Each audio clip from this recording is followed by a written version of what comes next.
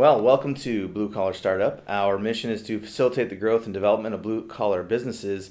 Each episode, we showcase real blue collar businesses and interviews and use these stories to help educate and empower the next generation of trades workers to become blue collar business owners. This is the Blue Collar Startup. This week, we're here with Matt Smith, Ace Home Inspection. Welcome. Thank you. You're welcome. Got I'm blue- welcome. I got my blue collar on. You got you are in fact wearing a blue collar. Yeah, I came prepared. That's nice. That's very I uh, want the audience to know I'm one of them. just, that you just that you ha- that you are it. You're Yeah. living it. You're wearing it. Yeah. You you have it. Yeah. All right. So uh, so Matt, why don't we you know start the beginning, right? Just tell us who you are. Well, I already told them who you are, but tell us uh, about your business, what you do, and uh, and then we'll see where the hell this thing goes from there. Ah, it's not a very thrilling business, but eh, we do home inspections. So we go in most likely through a, a real estate transaction, and we just make sure the house is safe and you know things are functioning. So we give life ex- life expectancies, make sure there aren't any major defects. So make sure somebody is getting into a money pit or have any surprises when they move into a house. Uh, we do a ton of inspections. We're one of the few companies in the country that does it. So we encompass a lot more than just the home. We do septics and chimney inspections, pool inspections, sprinkler inspections, kinds of riveting things.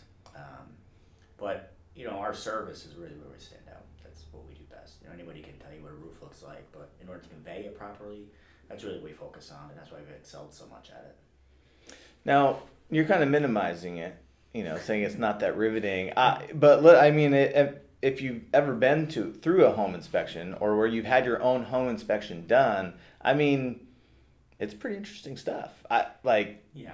the systems of your house. I mean, you're gonna live in this place for. I mean, what's I don't know what the average uh, life of a home anymore is. I know that used to back in the day when I was in real estate, it was like four and a half, five years was the average time someone spent in a home. I don't know what that is now, but uh, even still, if you spend 5, 10, 15, 20, 30 years in a house, those systems are uh, pretty damn important. They are. I, well, I, okay, I shouldn't say it isn't riveting, but it's um, it's minimized even by buyers. You know, a lot of times Yeah. they go into the house, do the inspection, and they're measuring for blinds and for couches. I'm like, you don't even own this place yet. Um, very few people really care to be educated on what's going on with the house, and that's really what it is. And sometimes you find problems, and that's how I explain it to people. We're just going to tell you how this house functions and some things that could be a little bit better. It's people really like the garnishing of it. They like the what blinds they're going to do, what color they're going to paint a room. They, they the functionality of, of the house really goes unlooked, which is why we're always going to be in business. Um, I feel like a lot of people too have generationally gotten out of being handy.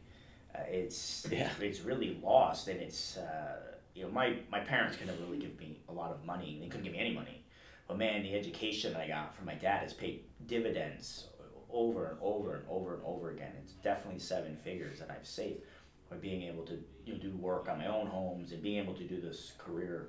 Uh, if, if people just paid attention a little bit more and they could save themselves a lot of money, a lot of grief, and understand what, what's happening. But they seem to think that, you know, just because we know what we're talking about, we give it our blessing or not, it doesn't mean that something can't go wrong as soon as we close the door.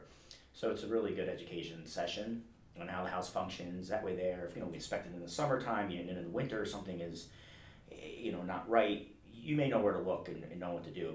I, I think everybody should do their own home inspection a couple times a year on their house just to make sure everything is, is okay. Yeah. And, you know, a lot of times you go in and we go in the attic, we find issues. Someone's like, well, I've never been up there. I mean, we don't really have any reason to, but it would be a good idea if you just checked on Yeah, some things, you know, yeah. before it became a major problem. And that's the, that's really what uh, you know, we do is it's, we really want to educate people and let them know what's going on with the house. You, you own it. You should know how this thing functions, what's going on with it. And you know, any other big purchase, you don't really do that. I mean, you, you get your car inspected, but that's really for you know, as a New York State mandate. You know, you, you could buy a four hundred thousand dollar car. Are you having someone inspect it and go through it with you? Right. No, you're not. But So- you should. Well, I would if I bought so here I'm I'm in a similar uh, vein as like I, think everybody should know how to do at least some of some general stuff around the house, right? I mean, so we own a farm. There's always shit breaking. There's always something that needs some type of work done to it, and and it's it's I always laugh because I Kristen laughs at me because we'll start talking about a project, and I'm like, well, I, no, I, I listen. I like we were just talking about the driveway project earlier. I'm like, ah, oh, I, you know, listen, I can spend a few thousand dollars on stone. I can spread that shit myself with a tractor. It'll be fine. Da da da. She's like, yeah, but I want it done right. And uh, shots fired, right? But uh, not that I wouldn't do it right, but she just, you know, she just wants it to be something bigger and better. I can do the general, like it, you know, if there's a hole, if there's this, I can fix that stuff. Sometimes I need to call in help. Roofing plumbing is something I've always refused to learn how to do because as soon as I know how to do plumbing, then you got to deal with people's poop. Yeah. I don't want anything to do with that. Um, but uh, but I do I agree. I think it's important that everybody knows some things about their house, checks on their house. I think well, that's I great. mean, the thing that we the stuff that we fill our brains with is, I, you know, you can tell who's doing who in Hollywood and Johnny Depp's divorce and but you know nobody nobody knows how to change an outlet. You know? Right. It's, yeah. I'm not saying everybody needs to know how to do that, but man, what we're really filling our heads with, I mean, it, you could save yourself a lot of grief, is what I'm is what I'm saying. Yeah. I mean, we see people get taken advantage of by contractors a lot. Yeah. Um, and part of the issue with the contractors is they're not necessarily wrong, right? If you call somebody to reside this building, you're calling them to do that. You know, they're gonna they're going to give you a call to reside the whole building, whether they think you need it or not. Yep. You seem to think so. So they really draw things out. You, know, you get a you get a better order of magnitude when you really start taking things apart and looking at them and, and doing them. So, yeah. Um, well, that's to your point too. So we had a, a roof situation with our garage, and uh, you know it's a metal it's a metal roof, but it's all panels. Mm-hmm. Okay. So, you know, the advantage here is that as a panel deteriorates, I can just replace a panel. I don't have to do the whole roof. Well, so we had a panel that needed to be replaced and kristen's like well let's let's just have somebody come over and look at it because she thinks. Anyway uh, let's have somebody come over and look at it. So we had you know but they want to replace the whole damn roof. None of them want to do the $300 replace the panel job. They all want to do the $30000 brand new roof job. And and again to your point i was like hell no. Well you could make an excuse to, to do anything right? You know it's it, it's not really right or wrong but is it absolutely necessary. Like does this you know, there are going to be terrible ramifications if you don't do this. And I'll be honest with you, more times than not, the answer is no.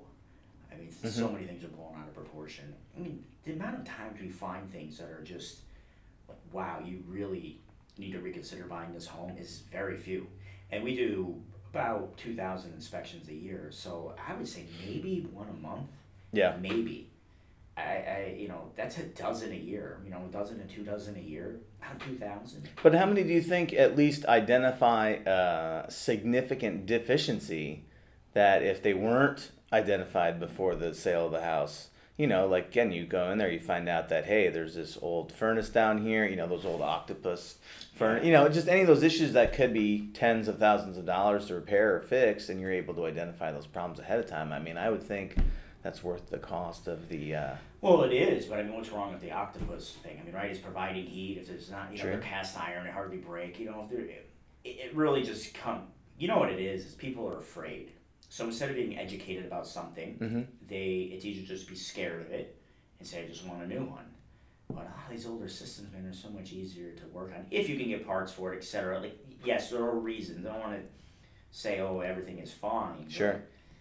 is fine. Sure I mean, is it is it functioning? Is it good? I mean, why? Why are we going to get rid of this thing? Yep. Right. It's, it's a different story if you can't get parts for it and a part is breaking, etc. You want to update it. Yes, fine. But most things are functioning. Yeah. Some things just need a little help. But I'm talking defects that are they're beyond repair. Yeah. You know, you're like this house just needs to be gone. You know, find mold here. You know, need a new furnace. This, you know, electrical panels. Uh, you know, it's a recall issue. Yeah, sure. And you know, a lot of stuff is, is pretty easy to go by. But I mean, as far as finding something you should be absolutely terrified of, mm-hmm. once a month. Once a month. So, oh, and before we go any further, I do want to say that we have Derek Foster is in the room. Everybody, you can't see him on camera. I'm trying to get him to sit over here, but. Uh, Next time. Next time. Everybody. We're, we're slowly creeping him in we're on. Uh, you know, sooner or later we'll get him. We'll get him full fledged in here on the podcast. But uh, welcome, Derek. Glad Thank you're you. here. You're welcome. You're welcome. So, uh, well, I, so I checked you out a little bit online, right before the, before the show, and you have uh, looks like there's there's five of you right now doing inspections, or five people in your company. No, we have eight now. Eight, Yeah, I don't know. I mean, we hired. Well, we just hired a girl today. We got nine. nine. Got nine people. Boom. Yeah. Uh, so tell us how it all got started. So I mean, you didn't just wake up one day and say, "I'm gonna have a company with nine people in it." Here we go. No, I um, Or maybe you did. I, I mean, I started off by myself. Uh, it- you know, I had owned some rental properties and went through the process. Mhm. I like, this would be pretty cool to do. I like it. I got fired from the job, so I took the course. 2008, started the business during the crash, Oh, nice. and it grew. You know, grew very, very quickly. Um, Even through the crash. hmm Well, I didn't really have a baseline before that. So Yeah. if I did, if I went from 30 to 80, you know, that was good. But I didn't have a baseline, you know, from 2004 up until, you know, when the market was hot. So, uh, but nonetheless, it, it still was hard because a lot of people were getting out of the business. People were not buying homes. I mean, it's not what the market is now, man. I mean, Right. It was very, very different. Homes sat on the market for one, two, three years. So, um, so I, I got in got into it and did it. I had another job. I was working in the medical field and I was able to really use both. I was able to do both at the same time. The boss that I had, I was able to leverage that job and it benefited him and it benefited me and, and it just took advantage of what was there and it grew and it grew better than I ever thought it would. I never thought this would be, you know, a nine company thing. And I think a lot of people say that um, but you know, fast forward, you know, he's working, you know, working by myself. I had this preconceived notion like, oh, you know, can never have employees. only do it as good as me. And that was the energy from everybody, you know, in this area that I had been, you know, dealing with and talking to until I started getting outside of it and going to some conferences and Mhm. like, well, you guys have employees, and you know, how do you do it? And it it started. It was like a whole different business at that point. Um, and you know I'm, I'm single i live alone and it, it, it's scary. If i fall off a ladder and get hurt i don't own anything. So before i didn't i never owned a business. People think they own a business. I didn't own a business. I owned a job. Sure. so if i got hurt i can't work. There's no income. You know what do you what's your exit strategy right? So now i can come do this. I'm getting paid Mhm. right now right? Right. do this. You know got guys out there working and doing. And they're happy to do it you know provide them a good wage and you know they're very reliable and they rely on me i rely on them. So it's nice. So you have your own almost like family you know where you, you take care of one another and do Yeah. it. You know there are some bumps in the road you know going getting here but still working through stuff. But that's what really did it for me. Is you better do something. Because you can't just keep working all the time. And then you go on a vacation you don't make any money and Sure. you're trying to keep all these things in your net and it's just it gets harder and harder and harder. I was really stupid just thinking that you know I'd be able to sustain you know that type of a lifestyle and a lot of people do it.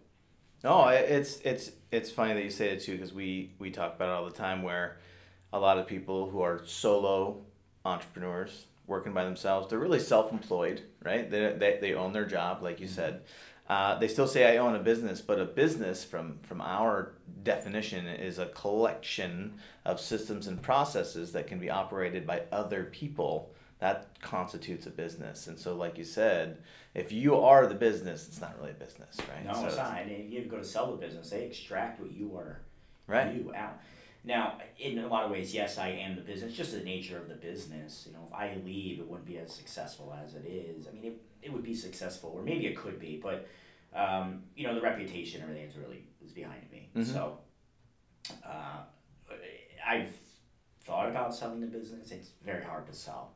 It's not really a saleable business. I've thought about buying other people's businesses, but what are you buying? You're buying anything because it's free will. You know, if the this person is no longer doing these inspections for these agents, they just move on to another to another guy. There's nothing to make them beholden Right. to that inspector. There's no book of business. Yep. There's nothing there. So it's really But a lot of people don't get that. So when it comes to the, you know when when buying and selling businesses, like you said it, and so there's the goodwill of the business, the name, the website, the the brand, the logo, the you know. But if you don't have contracts, uh, you know, like if you don't have anything that goes like, what are you actually buying? And uh, well, it's, it's you you would essentially have to buy me. But then why would I do that? right, So as you're buying, I am the reputation. We get buying a reputation. So that's what you would be buying. But there's nothing tangible to that. right, Like, Right. you know, if I get in a car crash, it's there goes everything, and somebody just spent a million dollars. and there you go, right?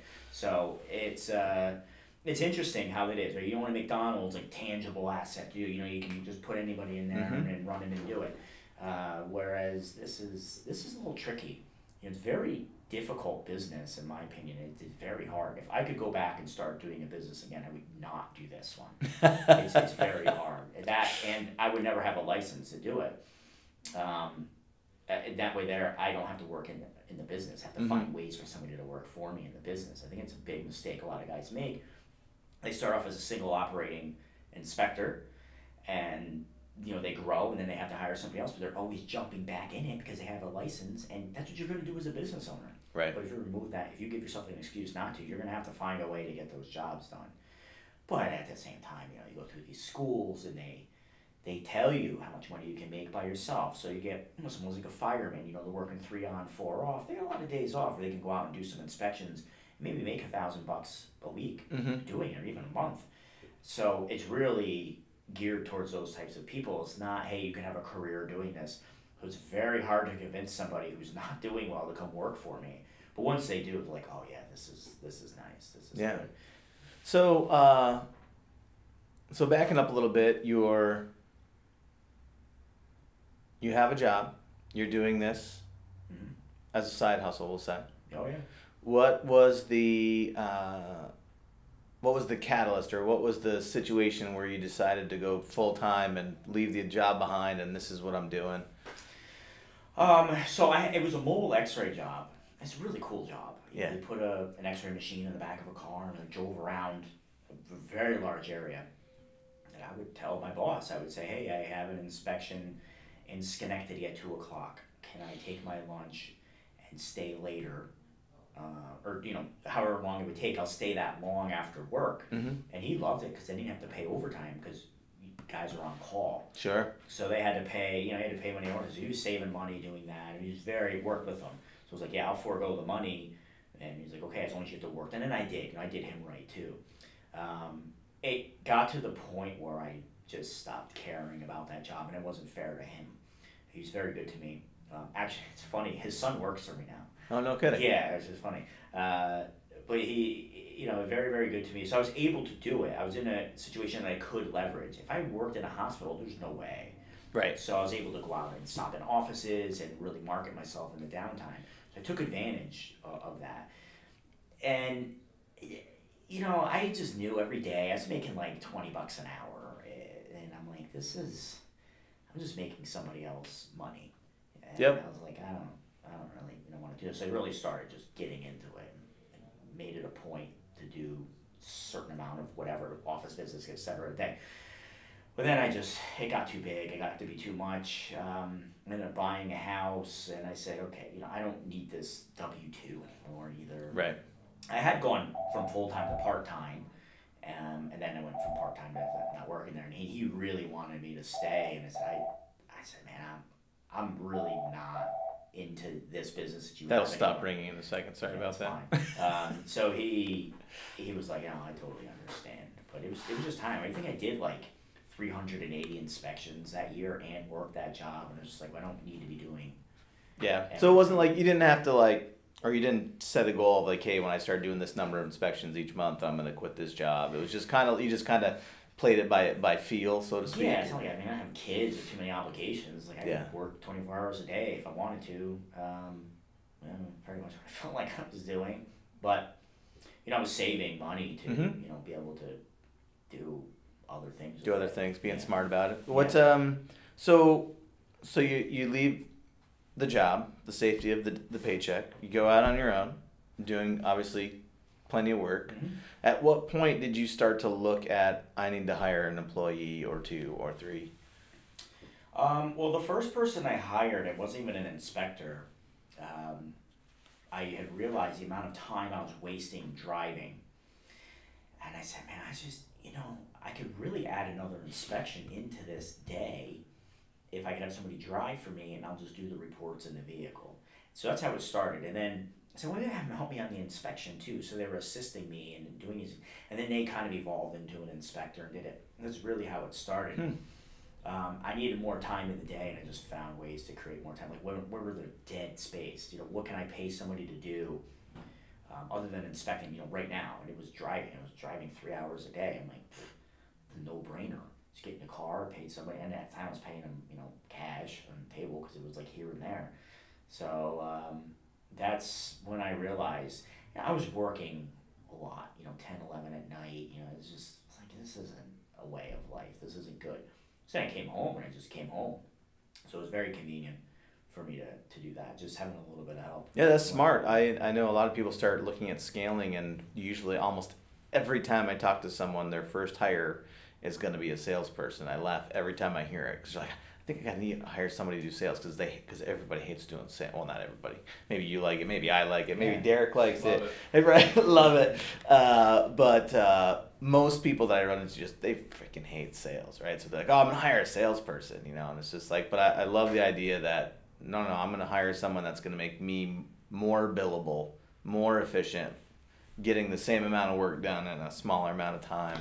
Is smart. It's Yeah, nice. well, I mean, at the time, I, I, I never thought I would have another inspector, anyways.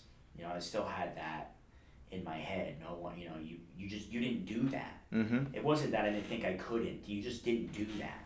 They would go, no, you don't do that. It was taboo. And then I went to this conference, and I'm like, man, I've been lied to.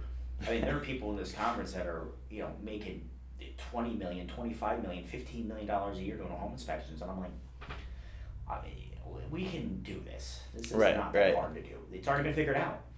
Just be friends with them, ask them what they do. Yeah, they're in a different market, right? Not competitors. yeah, and so Hopefully. I mean, I even had competitors around here that helped me with my professionalism and, and do what I do, but there was a big, big gap between upstate New York and the rest of the world. What goes on, and there still is. I mean, I try to bring as much as I can here, Mm-hmm. and I get all this information by going to these conferences and talking to people who are very, very progressive. You know, friends of like some of these guys. I got a friend down in Florida. He does like fifteen million dollars a year. And home inspections. Yeah. But he's in Miami. But How much does a home inspection go for down there? I don't know. But the volume is there. The volume's there. So you're only going to have. That's what I'm wondering. I'm like, is it you know? Yeah, you can only tap your market so much. So Yeah. you start running your company by metrics, right? So everybody's sitting there beating their chest. For some reason in this industry, we seem to think like, oh well, you know, I work 25 hours a day. I'm the man. I'm like, I don't really see it that way. Um, you know, I made this much money. I did this all on my own. I did all that on my own. and did. It's like, uh, you know, I'd rather just be the guys. Like I did none of these things. I got people do it.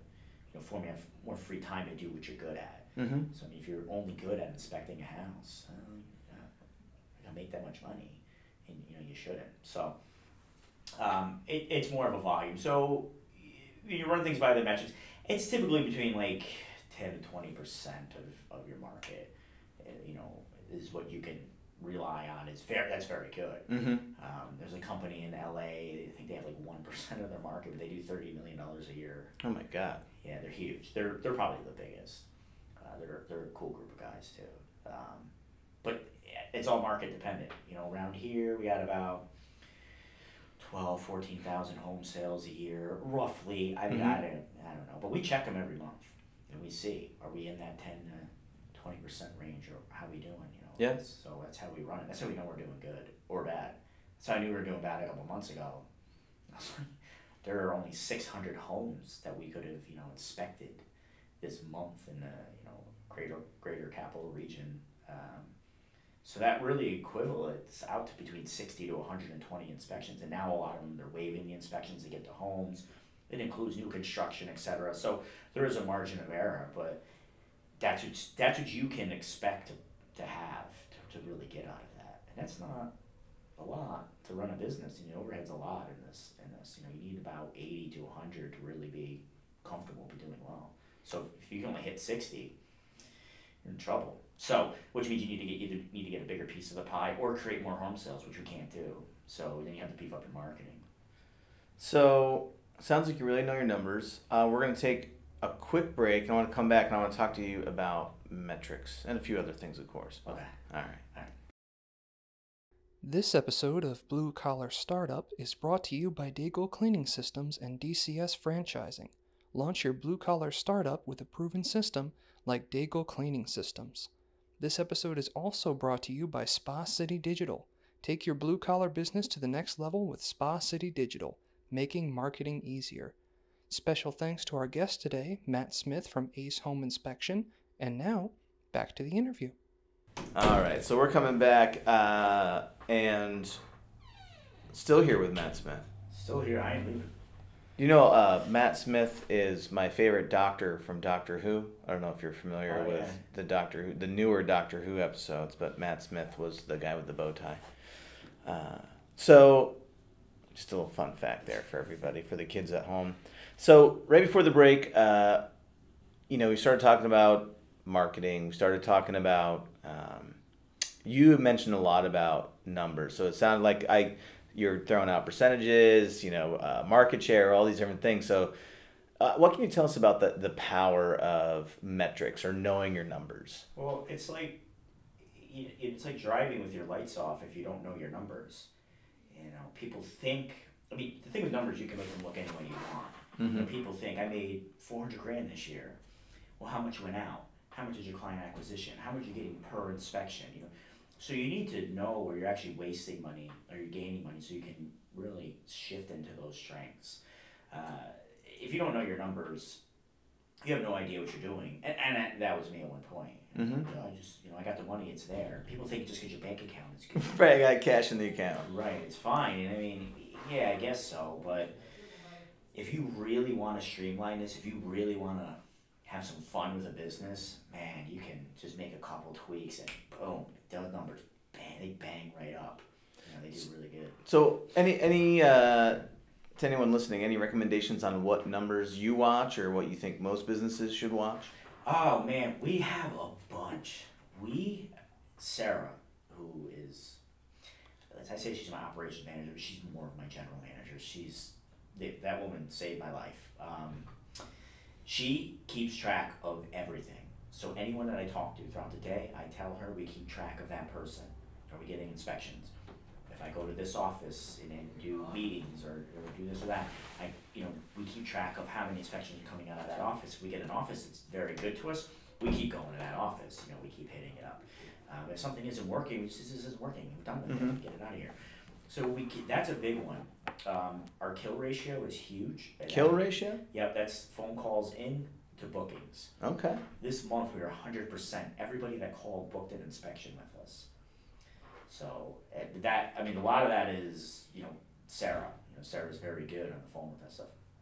Um, our average inspection price is you know it's nice to see that in our coaching meetings. You know people want to know what our average inspection price is. Um, our payroll numbers are a big deal. Your payroll should be between you know 42 48 percent um, that's a that's a big one. Most people, Yeah. Because if you're doing really well in certain months, you know the ratios change, the percentages change, and and then when the months are bad, they also change for the bad. So you Mhm. really need a good average. So a lot of people just peek at their numbers, you know, every month or every two months or sporadically. We check them all the time. We have a system that does it. You know, we just pull it off and shows it to us. But Is it uh, industry specific or? Yeah. Oh, okay. Yeah, so finally, we're getting some progression in this industry, and there's some people who work really hard at making things better. I mean, it looks like a real business now, you know, when you, when you run it. So it's easier now than it was even when I started with a multi-inspector firm. Mhm. Um, but we compare last year's numbers to this year's numbers. Um, and I don't really love doing that because it's a new year, new things are happening with the market. Yep. Um, but it's nice to just know. Mhm. You know if you're falling off really bad or you're, you're like, okay, this you start seeing patterns and, and then you can play to the patterns or you can adjust certain things. But the kill ratio is a big one. If we don't have a good kill ratio. I love that you call it the kill ratio. I'm like, what are we doing? We don't have a kill ratio. That's, that's a big one. But I mean, you're the tracking, man. That's that's a big deal. You know, Yeah. I talk to a real estate agent. They go into a list, and if we get a booking with them, they get a tick next to their name, and they do. So, you know, if somebody wants sponsorship money for something here or there, and it's like, oh, we're not really getting many inspections from this person. Right. Easy to tell who. Uh, Yeah. yep. We'll take care of those who take care of us, and anybody out there this knows that. But I'll be quite honest with you, man. Most people we talk to and when we're around, they, they do they use us. They're very happy with us. We didn't get Nice. to where we're at by, you know, lying. So Right. Having bad customer service. Yeah, we don't really. Our retention is great too, and we keep track of that. Who haven't we seen in a little bit? See what's going on with them. And now, how often are you looking at your numbers in general? Are you a weekly, a monthly? Mm, a couple times a week. A couple times a week. Just to see, you know, obviously number of inspections in a month Yeah. is, is one. You know, I like to look and keep track of, see what's going on, uh, keep track of who we've been in touch with and what we've done. But we scale it based off of monthly Mm-hmm. for the you know the majority of it. We can break it down to weekly or to daily, but I mean to get a good average, you you, need some some data in there. You can do one day. Right. That's just stupid. Yeah, no, we we have a scorecard that we look at every. I have my admin puts it together every week, sends it over to me. You know, it's like probably fifteen numbers that I look at that Yeah. tells me we're going in the right direction, or Right. there's an area, you know, from our different product services uh, that um, you know, there's an area maybe we're faltering in, so we need to beef up, like you said, beef up sales and marketing, or you know, yeah, Yeah, I mean, you know, it's tough. That's the only. um, I mean, metrics are good, you know, for money. You know, something that you can you can count. But what we can't count is you. There's no metric for service. mm-hmm, There's no metrics for happy people, other than maybe a Google review. Um, so that's usually the first thing that goes when people are trying to run a business is because there's nothing there that reminds you like your service sucks unless you get a bad review. right, So we always keep that in mind, and that's not a me- there's no metric for that. Yeah. So a lot of people will get away from that. They get so busy, but they get so busy chasing a bank account number, and you're you do you like I did it. You know, like, oh, well, I'll get back to this person tomorrow. You know, they call me at nine in the morning, yeah, right? And that's what happens. Eh, So scalability, man. It's yeah, you have to invest in the service. You have to put people in place.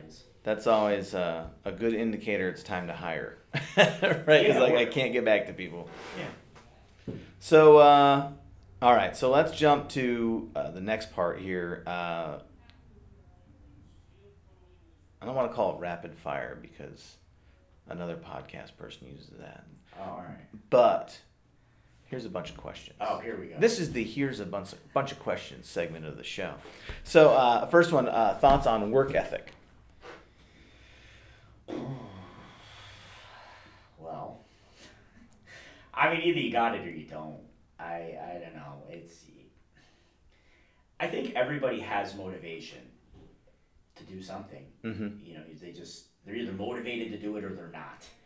That's it. If you're not motivated, then just go find something you're motivated to do. Sure. Right? A person, you know, collecting change on the corner to buy drugs is probably you could say is more motivated, but they're more motivated to get what they want. You know, so if somebody really wants something, they'll find a way to do it. If they're not motivated to do it, this is not what they really want. They're not interested in it. Yeah. So I think it's in everybody. I mean, think about like when you first fall in love with somebody, man, you'll drive to California to see it. You'll do anything, right? You walk across glass. You'll you'll do things to get what you want. Okay. Everybody everybody will. Um, Fair. How about uh, college? You go to college? I did. Degree? I actually went to med school. Oh yeah. So clearly, uh, using your college education for what you do work now. Yeah, I, I, I well, you know what it is? I worked in overnight as a, an X-ray tech, and this doctor, you know, was in his seventies, and I'm like, oh, you, still work on call? He's like, yeah. And I'm like, I don't.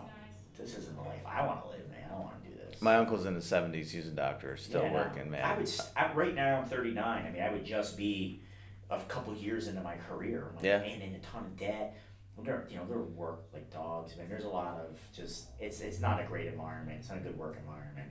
And I was kind of seeing that, looking at what they do. Yeah. I was like, man, I don't know. This isn't this isn't for me. But yeah, I went to college, got a couple degrees, and don't use them, but Yeah, and well, it, you know, and it's it's an interesting thing because out of the this is our fifth episode, uh, and the only there only only one person that actually went to college for what they are doing in their career uh, from a blue collar standpoint. Everybody else like went to college, they got degrees, and then maybe they started doing something in that field and decided it wasn't for them, and then you know they're like. Uh, you know, like I was a math science student. You know what I mean? Like Derek has a, a I think Derek actually has a business degree from RPI, um, but he's in a he's in a blue collar field. You know, so and, and so just an interesting idea of talking to people about you know, hey, do you do you need? Again, I'm not against college, but I'm also very pro trade school and very pro. Um, getting certified in what you're doing and and I, I think training is important i think having some sort of you know we'll call it a certificate you don't want to just watch a couple of YouTube videos and then decide this is what you do for a living. But uh, just you know, racking up all that student loan debt and then not using it kind of seems a little. Uh, Well, I mean, I think everybody, that's just what you do, mhm. right? It's just like, well, I better have a kid and get married. You know, it's going through the progressions of life. I think it's actually going away. I think more people are starting to realize that. But that's what your parents told you to do because everybody was a plumber and electrician and Mhm. you it's like go get a job and you can pay somebody to do this. And I think millennials get a lot of a lot of crap. But they were all told go go to college. Sure. Don't flip burgers. And now they don't want to flip burgers and everybody calls them lazy. Well no you told us to go to college and we did. Right. Now we want our job. Yeah. Um, I think people believe that college is a guaranteed job when they get done, and that's not the case either.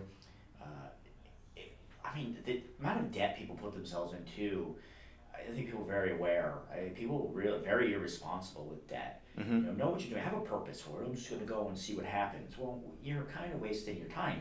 I mean, you'd be better off backpacking through Europe, or you'd be better off, you know, digging a ditch for a guy who, you know, does driveways or something. Yeah. You, you could learn a lot. You get some experiences till you want to figure that out. You know, go see some things first. You know, who that? How the hell do you know? You were in high school. What do you even know? You don't. Know I nothing, know. Right, and uh, it's like the whole world becomes open to you, and then it's like, here, do this thing, and you're like, I don't really know if this is gonna work out, and most of the time it doesn't. But that's kind of what we're told to do, and most people are just afraid, I think, to take a chance. It it, it seems like a safe bet. Go to college, get this degree, I go get a job, and you just fall into the. It at least cycle. delays the real world for a little while, for four more years. Yeah, I mean, if you want to go have fun and party, you know, you can definitely do that. But it's, I don't think it's a waste. It- It's, I, I think people are just not utilizing it properly. You know, there's some things you can do. There's some college courses I took that were awesome. That I, Yeah. if I kind of would like to take them again. You know, they're interesting. They were cool, but I think college is a misused tool.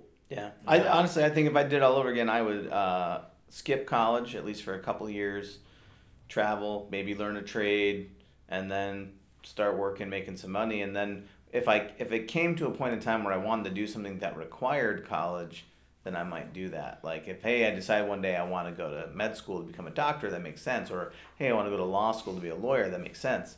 But uh, I don't know. I just see all these kids spending all this money on liberal arts degrees, man.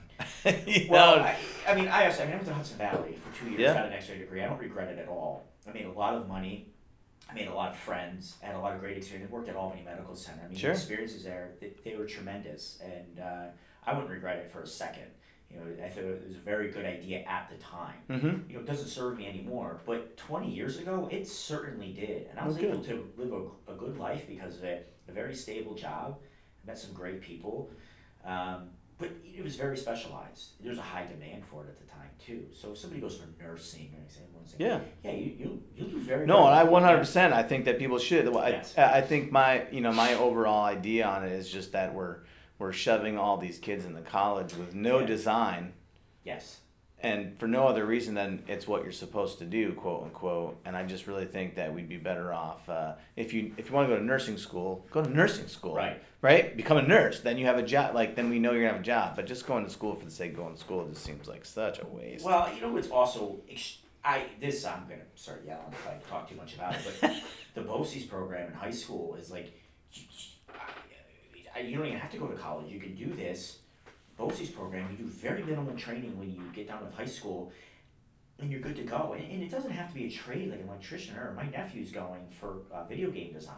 my daughter goes for graphic design. I and there's Absolutely. this stigma that like dumb people go there, and I'm like, eh, I know that when we grew up, when we were kids, right? So I'm 45, I'm a, little, a few older years older than you are, but I know that when I was growing up, like that's the way the kids that were going to BOCES were um, were picked on for going to BOCES. They were, you know, almost a like they were they were a lower class than everybody else because they're going to BOCES, but it's just not the case, right? But again, that comes back to the whole stigma around blue collar and go to college so you get a good job because being a plumber or an electrician or any of those things isn't a good job, which we all know is not the truth, right? Well, it's even superficial that my kid got into this college. Absolutely. Who gives a cares, man? Yeah. Who cares? You know, I'd rather my Not kid, our listeners. Yeah, I'd just rather somebody, you know, my kid or somebody be happy and, and do something.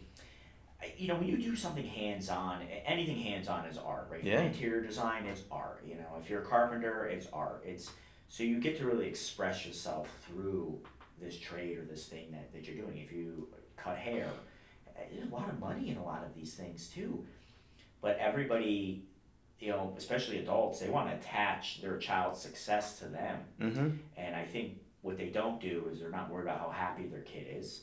It's just no, you need you need to go to Harvard to make Right. this family look good. Pressure, pressure, pressure. Yeah. Yeah, so Yeah. Uh, is. I mean, we can go down that rabbit hole. Oh my. God! No, listen, that, it's a big tangent for me too. Um, all right, how about uh, day-to-day routines? You got any uh, crazy weird stuff you do in the morning to get yourself going? You doing any? No, I and I should. I'm trying to be better with stuff. I mean, I go to the gym. Mm-hmm. Um, consistency and regiment is is important. You know, go to the gym, eat well. You know, I want to do things daily. You know, for self care, etc. I mean, we always make excuses to do things that aren't good for us, but we rarely make excuses to do things that are good for us. So Mhm. every once in a while, I have to remind myself, like, hey, you don't have to keep punishing yourself. You know, you're you're this isn't good. Yeah. This, you know how this is going to end, and it's not going to be well. So take care of yourself and do these things.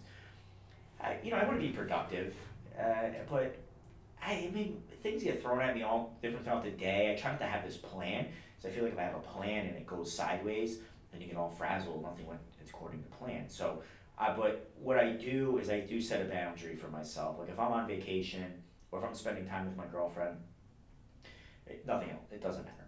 I don't. I don't care. It can wait. Yep. If I'm out to dinner, I'm not on my phone. That type of stuff. So the quality time with people is, you know, those are the boundaries that I set. Or I'll say, you know, nine o'clock or eight o'clock or seven o'clock. That's it. I'm done.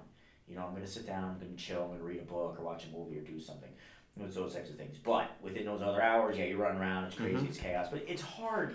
It's really hard for me to hold a regimen. I mean, my schedule changes every day. Yeah. You know, first appointment could be at ten. It could be at one. It could be at seven in the morning, you never know. So it's kind of tough for me to do it. But I like to get up early because not everybody else is up. And then you like have time to think about what you're gonna do. You know, get. I up. just I just switched my morning routine so I get up at four thirty now, and because I've got I got four kids. Yeah. and and pigs and chickens and all the other stuff we got going on the farm, dogs and cats. Uh, so yeah, I had to start now. I'd get up at four thirty so I can get like I get a workout in, eat breakfast, have like twenty minutes of you know whatever. Yeah, you know, I just need that a few times throughout the day. Like, I just need my half hour of like, just leave me the hell alone. Yeah. so I can figure out what happened, catch up with stuff, and then I'm good again. Yeah. And you can just keep dumping more on my plate, and we're good. But when it just be, starts piling up, and I can't remove things, I get really frustrated. You know, I get pissy, and I'm like, ah, and so I, and that's one thing when I hired the driver that I lost, and I didn't realize at the time, because I drive from inspection to inspection. And that was my time. The radio was on. You know, sometimes you have a half an hour drive, and you just decompress. Yeah. You're good, and you, you know you're fresh for the next one. That never happened. It was just go, go, go, go, go. So, you know, as far as a routine, no. But knowing when I need a break, I just need a minute. Mm-hmm. You know, I'll do that. I'll, I'll run into you know create an appointment and go do something for twenty minutes. Put yourself in timeout. exactly. All right, last question. If you were going to give listeners one piece of advice on being successful in a blue collar business, blue collar field, what would it be?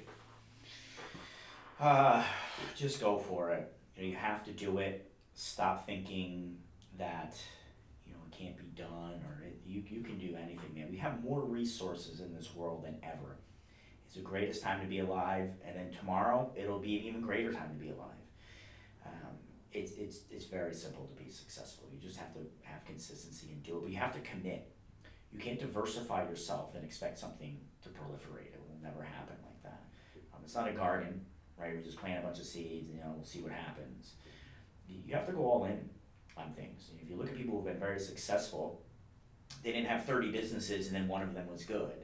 And I know this is sounds silly coming from me because I started this as a as a side job, but who knows where I would be if I had those resources at that time and had fully committed earlier.